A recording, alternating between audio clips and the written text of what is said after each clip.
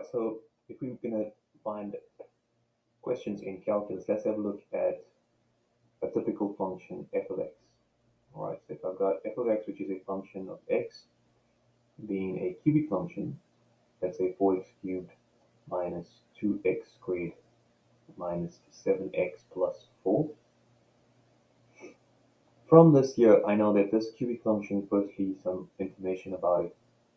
This value over here is your a value. Now we can write this in the form of f of x equals ax squared plus bx squared, ax cubed plus bx squared plus cx plus d. And we can see that that value over there is 4, which is my a value. Now, when the a value is greater than 0, or when it's positive, then the cubic function goes up first, reaches a maximum, then turns, goes down, passes some kind of point of inflection, if maybe, and goes all the way down and reaches a minimum before it goes up again. Alright, so we're saying that there would be some kind of maximum where the gradient will be equal to zero, and we've got some kind of minimum where the gradient will be equal to zero, and the gradient is found by, taking the derivative of f. So the next thing we need to understand is what is the derivative of f of x if you're given something like this? Well, the derivative of f of x is built on the power rule. The quickest way to find the derivative is to use the power rule. And in this case here, we want to find out the gradient, right? So this is the gradient, which is your slope of this function, which means that as you travel along this curve, every single point has a different slope. So for example, if you're traveling this way, you know that's going to be that slope. And if you keep traveling this way, you can see the slope is getting flatter. Eventually, it will become zero at that point. And then it will go into a negative. Eventually, it will become less negative, less negative, and it will go zero again before it goes positive again. So the gradient is changing is changing on the x-axis. And so the gradient has a specific function that we want to find. In order to find that, we use the power rule. So let's suppose we have to work out the power rule with the following function. So f of x equals ax squared. All right, when I derive this function, when I derive this function, I take 2 to the front and I multiply it by a, It become 2a x, and then 2 minus 1 is 1. So I end up multiplying the power by the coefficient, right? So I multiply power, and then I subtract 1. I subtract 1 from that number, okay? So that's going to be 2ax over there. So that's going to be every single time I have to calculate, let's see, I, I do a few of these, right? Let's suppose on this side here, I put f of x, and let's on this side here, I put the derivative of f of x. If I've got 2x, and I derive this, 1 goes to the front, 1 times 2 is 2, 1 minus 1 is 0. And so that becomes x to the power of 0, and 1 times 2 is 2, so I'm left with 2. If I've got 3x, it becomes 3. If I've got negative x, it becomes negative 1. What you notice is that when it's x to the power of 1, it disappears completely. Right? Now the next one, if I've got x to the power of 2, it'll become 2x. Because 2 goes to the front and then minus 1. If I had 2 in front, then that will become 4x. And if I've got 3x squared, for example, this will become 6x. If I've got negative 4x squared, this will become negative 8x because the 2 multiplies by 4 and we minus 1. And every time we derive, the power reduces by 1 anyway. And if it is power of 1, then it disappears. So if it's a cubic, it's going to become squared. So let's have a look at a set of cubes as well. So if I've got x cubed, it will become 3x squared. If I have 4x cubed, this will become 12x squared. If I've got negative 5x cubed, 3 times 5 is negative 15. 3 minus 1 is 2. So every time we multiply the power and then we subtract 1. Multiply the power in front, right? Multiply, multiply the power in front with the coefficient. And then we subtract 1 from it. Alright, so those are examples of how we would do power rules. Now I'm going to apply the power rule to this function over here now. And we're going to take every single function and do exactly that. I'm going to take 3 and multiply it by 4. It's going to become 12. And then minus 1. Take 2 times 2 is 4. And then minus 1. And it will be minus 7. Alright, so then we got f of x equals. Now the moment you have a, a number on its own, a constant, a constant does not have a gradient.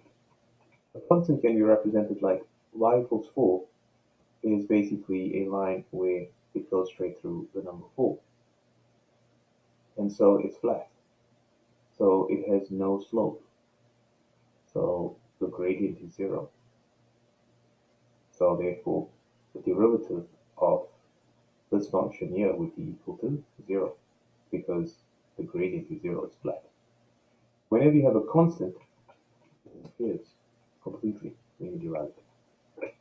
Alright, I put a small little dash over here at the top implying that this is now the gradient function. This is a function, a function that represents the gradient, that represents the slope of f of x for all values of x.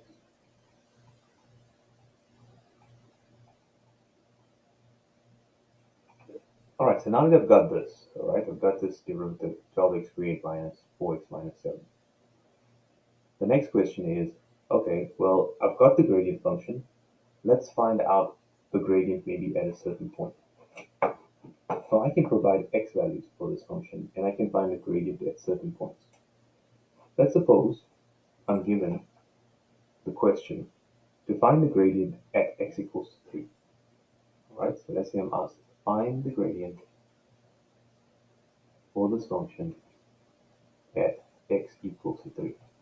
So all I have to do now is find the derivative at 3, replacing x with 3 and it will give me a specific number, which I put on my calculator. 2 squared is 9, 9 times 12 is 108, minus 12 minus 7 comes to 89. So 89 will be the gradient of this function at that point. And when you draw this up, and we know that this is the y-axis and the x-axis, and specifically the x-axis is what I'm looking for. If I have the x-axis somewhere like that, we're saying, okay, well, what is the gradient at x equals to 3? So 3 would be over here, let's say here.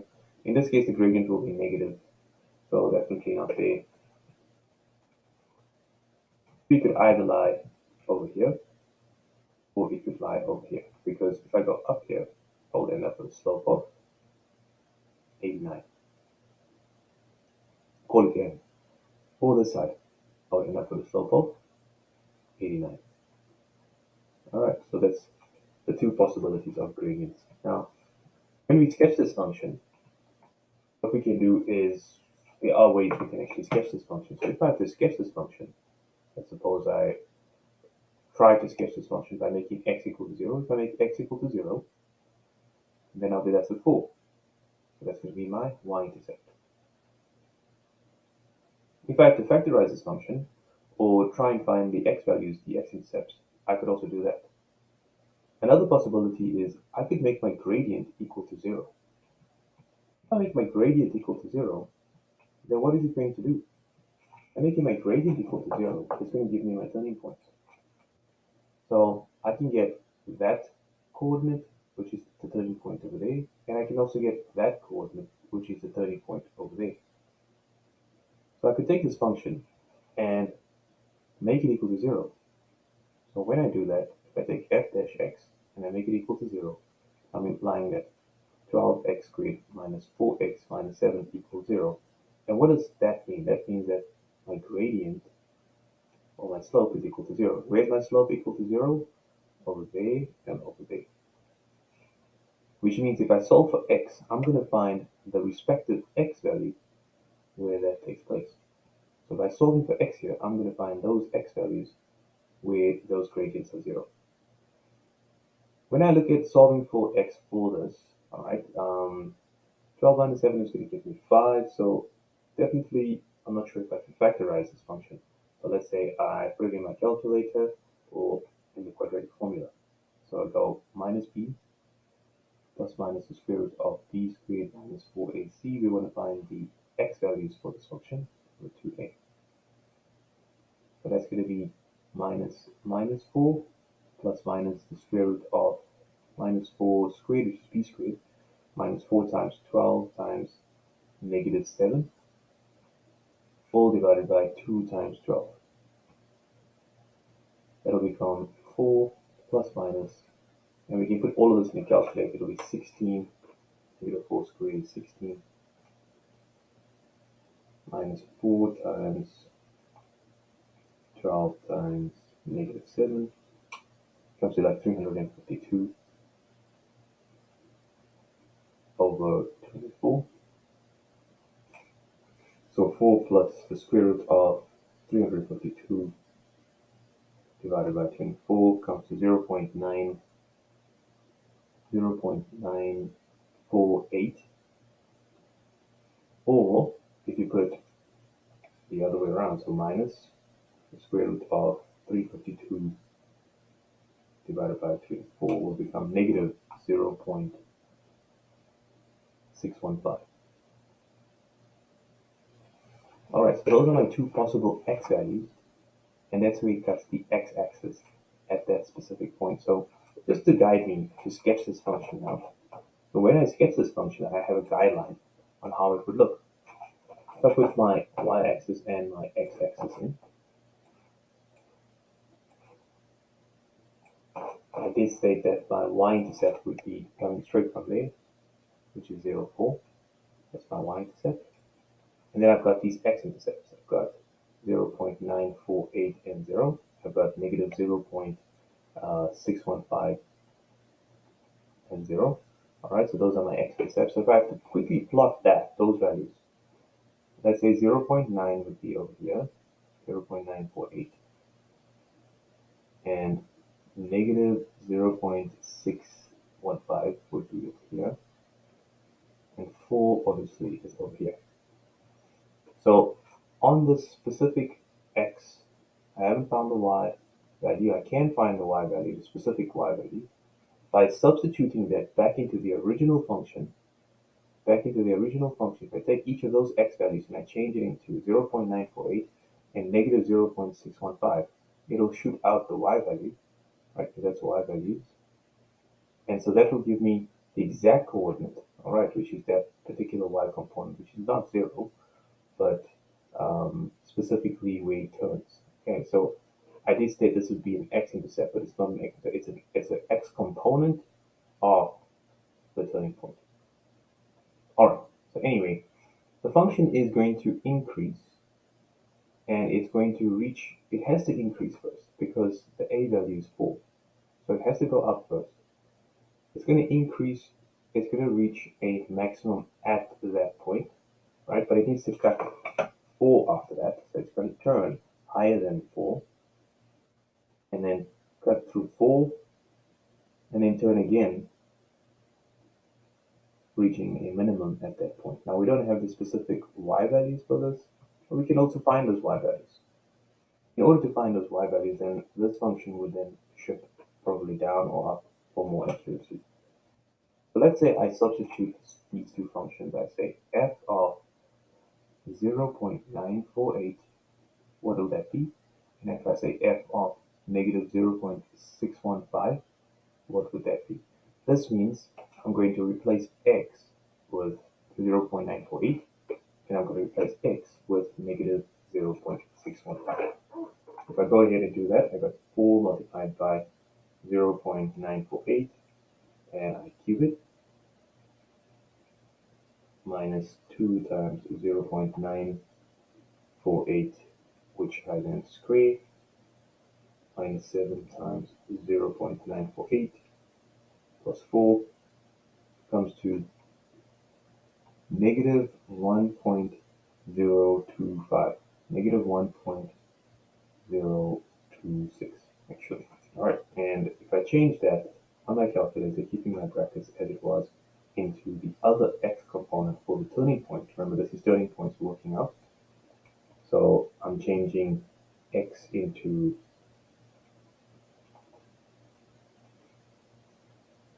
zero point negative zero point six one five.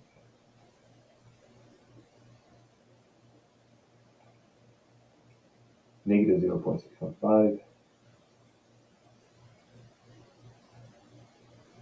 get 6.618. 6.618. So this graph is not exactly accurate, which means that we have to fix it right?